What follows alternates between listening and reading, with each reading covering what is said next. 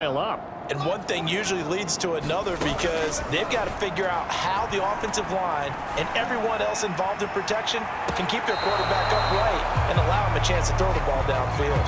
Back in the end zone, could he get his feet down? No, it's incomplete.